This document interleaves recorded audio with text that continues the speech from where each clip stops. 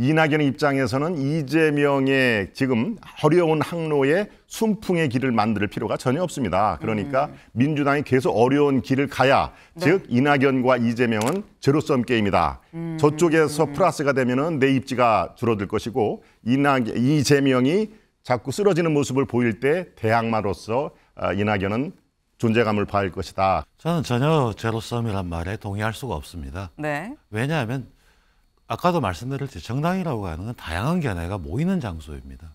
그리고 다양한 세력들이 있고요.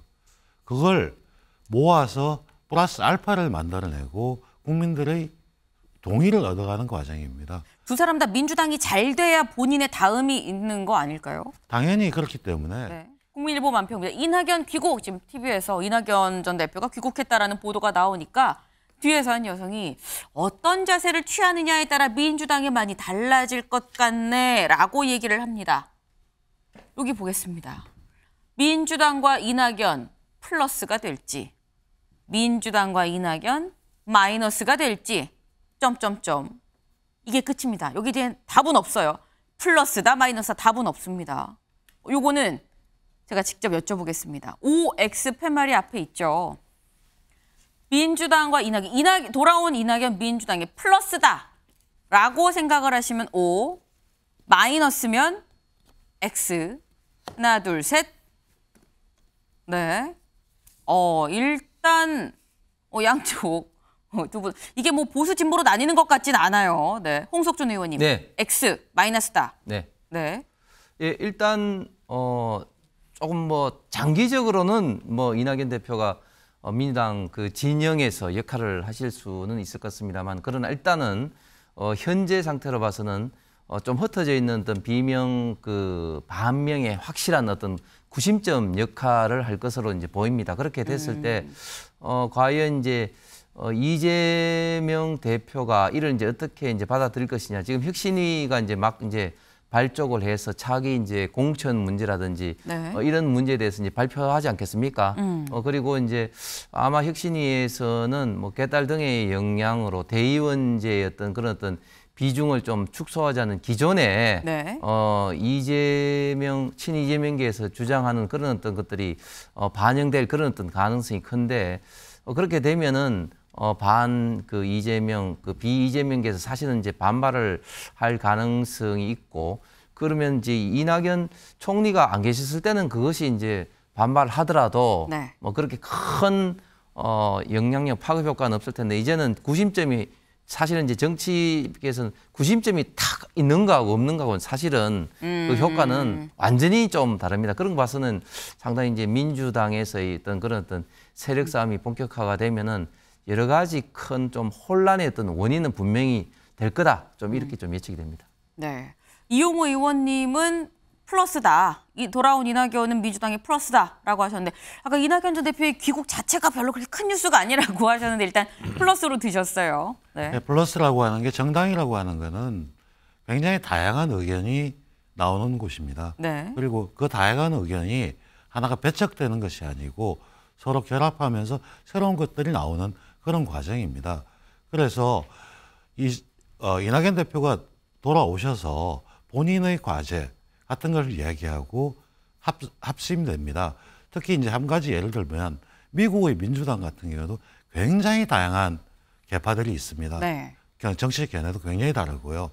그렇지만 그것들이 당내에서 치열하게 토, 론되고 음. 하나의 정책으로 나옵니다. 그렇게 되지만 그 다양한 견해를 그 정당에 반영하면서 그 저, 정치를 하는 사람들, 국민들이 정치적 효능감이 생깁니다. 그러지 않고 이게 정치적 개파 싸움을 해가지고 한쪽 밀어내고 일방적인 싸움을 한다면 음. 마이너스가 되는데 저는 저희 민주당이 그런 걸 끌어낼 수 있는 충분한 용광로가 될 수 있기 때문에 다양한 의견이 표출되고 그 의견이 충돌하는 것들은 음. 오히려 민주당이 발전할 수 있는 계기가 된다고 보는 겁니다.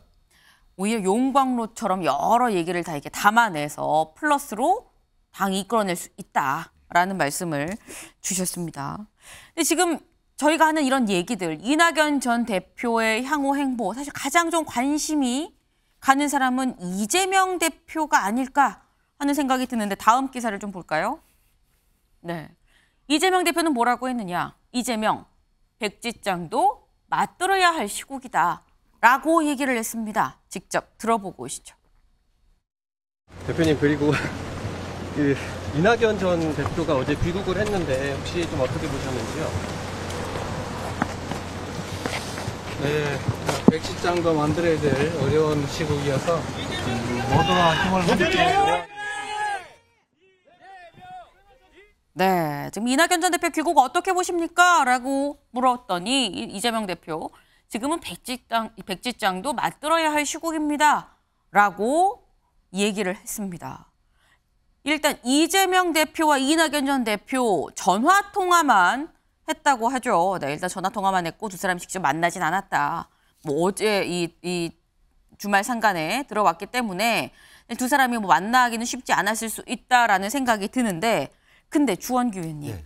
지금 보면 아까 말씀하신 내용 중에 그런 게 있습니다. 이재명 대표가 이낙연 전 대표가 움직일 룸 공간을 내어줄 것이냐라는 부분도 좀 지켜봐야 된다라고 말씀을 하셨는데 그 부분은 어떻게 전망하세요? 그 여지를 거의 안 주시려고 하는 아주 신경질적인 반응이라고 저는 좀 해석해 보고 싶습니다. 지금 아까 기자의 질문에 2초간의 침묵이 쓴 다음에 백지장도 맞들만 났다. 근데 아시겠지만 그 사자성어의 뜻은요. 아무리 쉬운 일이라도 사람이 뜻을 더 합해야 된다라는 상당히 원론적인 얘기고요. 네. 모두가 힘을 합쳐야 된다라는 것은 이낙연 전 대표님의 존재감에 대해서 의도적으로 무시하려는 전략도 전 느껴진다고 봅니다. 그러니까 지금 귀국을 하셨고 어떤 면에서는 상당한 정치적 자산이 있는 분인데 네. 우리 뭐 당의 큰 어떤 어른이시고 뭐 이런 어떤 표현들도 상투적인 표현조차 없었다는 것은 상당히 이재명 대표가 어떤 면에서는 좀 껄끄럽게 느낀다는 것으로도 느끼고요. 네. 그리고 또 하나 여기 통화 중에서 몸을 추스리면 조언을 듣는 시간을 갖겠다라고 말씀하셨는데 네. 이 조언이라는 단어 안에서도 여러 뉘앙스를 느낄 수 있습니다. 음. 적극적 참여보다는 그냥 조금 더 이 선에서 조언을 해주시는 것을 귀담아 듣겠다라는 뉘앙스로도 저는 이해가 되기 때문에 네. 이 부분에 대해서는 두 그 이 전 대표와 현 대표 사이에서의 신경진 신경전이 저는 시작됐다고 보고 있는데 어. 한 가지만 말씀드리면 아까 제가 이 마이너스라고 말씀드렸던 이유는 네. 더불어민주당의 용광로와 같은 것은 상당히 존중하지만 지금 시기적으로 좋지가 않은 게 김은경 혁신위가 출범했는데 아쉽게도 김은경 혁신위의 위원들이 친명계 위원들을 포진됐다라는 분석 그리고 거기 안에서 앞으로의 공천에 대해서 요동칠 거라는 그 더불어민주당 안에서의 그 움직임 네. 거기서 이낙연 전 대표가 어떤 스탠스를 취하시느냐에 따라서 더불어민주당이 플러스로 가느냐 마이너스로 가느냐의 기로에 놓였다고 저는 생각합니다. 네. 지금 전 현직 두 대표의 약간의 신경전 느낌이 있다라고 말씀을 주셨는데 근데 그렇다고 한다면 김동원 의원님 네.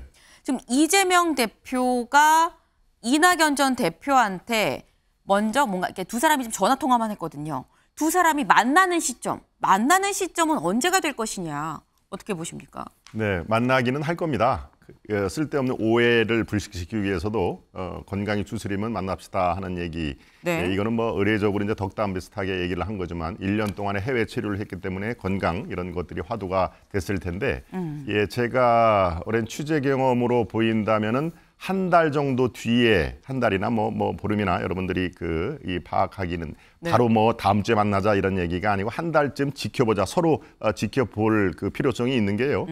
이낙연 전 대표의 입장에서는 사실은 주요 당직 뭐 주요 당직 현재는 뭐 맡을 것도 별로 없습니다. 사실은 혁신위원장도 이미 다 네. 하고 이낙연 대표의 입장에서는 당직을 설령 설령 어, 아주 새로운 당직을 만들어서 중책을 맡기겠습니다라고 해도 안 받을 겁니다. 지금 맡을 어, 필요성이 이낙연 계의 입장에서는 왜? 예, 예, 이른바 이재명의 사법 리스크라든가 뭐 김남국 그 이런 것들이 민주당의 지금 저 아, 지지율도 역전했다는 게 최근에 나오지 않습니까? 어제 그저께 다 이 지지율이 국민의힘이 앞섰다 하는 거 부분적으로 어, 나옵니다만은 네. 이낙연의 입장에서는 이재명의 지금 어려운 항로에 순풍의 길을 만들 필요가 전혀 없습니다. 그러니까 민주당이 계속 어려운 길을 가야 즉 이낙연과 이재명은 제로섬 게임이다. 저쪽에서 플러스가 되면은 내 입지가 줄어들 것이고 이낙 이재명이 자꾸 쓰러지는 모습을 보일 때 대항마로서 아, 이낙연은 존재감을 봐야 할 것이다. 그런 의미에서 네. 때 주요한 당직은 맡을 턱도 없고 맡을 줄 필요도 없다. 백지장이라는 얘기를 글쎄 왜 했을까요? 이건 뭐 저만의 생각입니다마는 예, 하얀 도화지 아니겠습니까? 네. 야, 자, 당신하고 나하고 우리 대선 과정에서는 그렇게 껄끄럽고 그리고 당신들이 내 대장동 게이트 처음 언론에 터뜨렸잖아라고 하는 게 왜 이 가슴 한 구석 없겠습니까? 백지장이라는 건 지금부터 우리 다시 시작해 볼 필요가 있는데 당신은 내가 하는 일에 도와야 돼라는 그런 의미에서 백지장을 얘기를 하지 않았을까 싶은 생각이 들고요. 예, 한마 또 저 뭐 유머를 얘기하자면 글쎄요, 자꾸 백지장이 저는 백치라는 그 어, 생각이 듭니다. 그러니까 나를 안 도와주면은 당신들의 미래도 없다. 당신들의 어, 나를 계속 경원시하면은 그게 네. 백치다 하는 그런 것들이 오버랩이 돼서 조어를 만든 거 아닌가 그런 판단이 듭니다. 개인적인 네, 생각과. 네, 판단을 좀 말씀을 주셨는데 네. 말씀 중에 이런 말씀을 하셨습니다. 지금 이재명 대표와 이낙연 전 대표는 제로섬이다 라고 말씀을 하셨는데 이용호 의원님 두 사람이 제로섬이면 민주당의 미래가 너무 불투명한 거 아닙니까? 저는 전혀 제로섬이란 말에 동의할 수가 없습니다. 네. 왜냐하면 아까도 말씀드렸듯이 정당이라고 하는 건 다양한 견해가 모이는 장소입니다. 그리고 다양한 세력들이 있고요. 그걸 모아서 플러스 알파를 만들어내고 국민들의 동의를 얻어가는 과정입니다. 두 사람 다 민주당이 잘 돼야 본인의 다음이 있는 거 아닐까요? 당연히 그렇기 때문에 네. 당을 위해서 뭘 해야 될지 어떤 걸 해야 될지 협의를 해야 되는 것이고요. 그걸 이끌어내는 것 자체가 네. 민주당의 리더십입니다. 그걸 제대로 리더십을 발휘하지 못한다면 국민들은 민주당을 외면할 것이고요.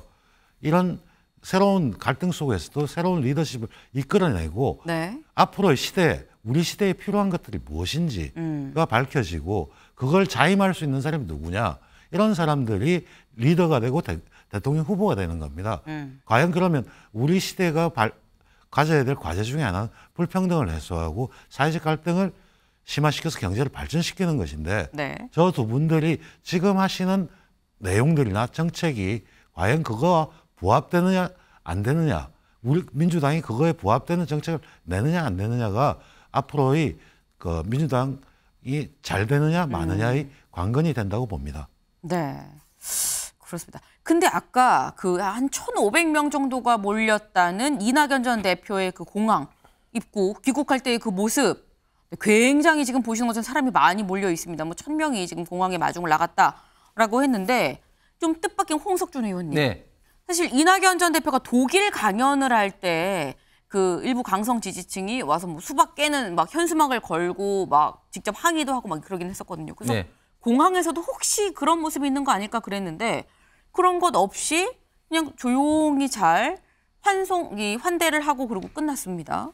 어떻게 보셨어요? 어 그거는 뭐 그 민주당 범민주당에서의 어떤 그 전략적인 어떤 그런 행동일 수도 있겠는데 그만큼 어 이재명 그 지지하시는 분들이 준비를 많이 하신 것 같아요. 그러니까 어 방금 앵커께서 말씀하신 그런 어떤 불상사도 어 좀 사전에 좀 차단도 하고 그리고 자연스럽게 뭐 사람들을 뭐 뭐 도원까지는 아니겠지만 자연스럽게 이렇게 좀 조직화를 하고 네. 어, 이런 어떤 어, 사전에 좀 준비를 좀 많이 좀 하신 것 같고 그리고 또 어, 서른 의원을 비롯해서 많은 의원들도 이제 공항에 이제 마중을 나갔는데 네. 뭐 이런 거 역시 앞으로 어, 이낙연 총리의 좀 역할에 대해서 그리고 음.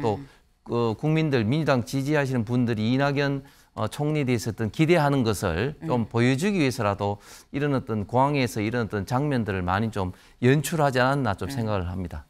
네. 일단 뭐 박지원 전 원장은 아유 이렇게 뭐 강성 지지층이 등장하지 않아서 너무 참 보기 좋았다라고 본인 SNS에 또 쓰기도 했었는데 네. 이낙연 전, 대, 이전 대표 앞으로 어떤 역할을 어떤 방향으로 할지 좀 지켜봐야 되겠다 하는 생각이 듭니다.